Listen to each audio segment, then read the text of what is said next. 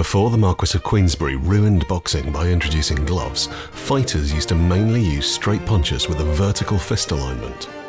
How do we know this? Well, we have paintings from the period showing exactly that. But more importantly, we also have boxing manuals that explain in great detail exactly how to punch.